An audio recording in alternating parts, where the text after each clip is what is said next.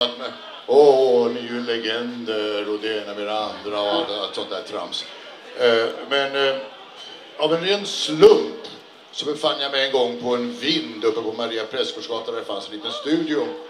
Och eh, det, denna slump ledde till att, ja, det finns de som, jag tycker att, som tycker alltså att jag är en legend på grund av denna slump. För att när jag var där så höll de på att spela in en skiva och då fick jag den stora äran att säga du kan lita på mig.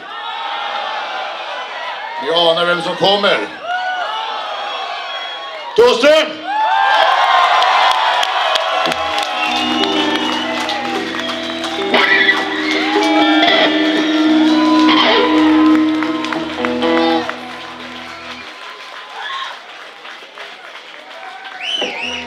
Okej!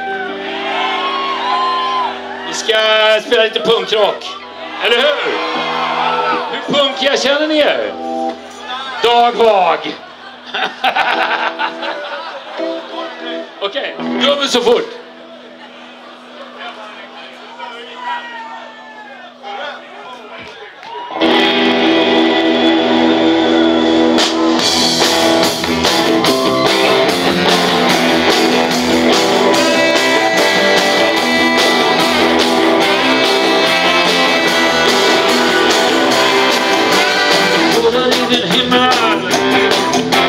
Sempre Tempo sorge, a te un c'ha.